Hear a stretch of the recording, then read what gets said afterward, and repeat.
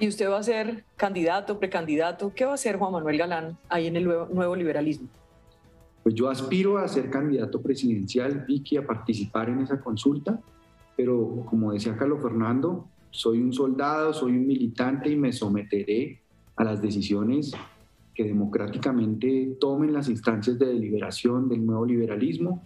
Eh, participaré activamente en todo ese proceso, pero esperamos que el Partido Nuevo Liberalismo es un partido, por supuesto, amplio, democrático, en donde sus militantes pues sean disciplinados también en la toma de decisiones que el partido va a definir de cara a las elecciones del año entrante.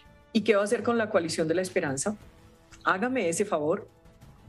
Pues yo he venido participando desde hace varios meses en la construcción de unos principios éticos que la coalición de la esperanza definió, de unos lineamientos eh, programáticos, pero yo he hecho llamados al interior de la coalición de la esperanza para que tengamos una actitud de apertura y una actitud también de asumir la identidad del centro, que es la identidad liberal, la identidad de la defensa de causas históricas del liberalismo que el país está reclamando en materia de justicia social.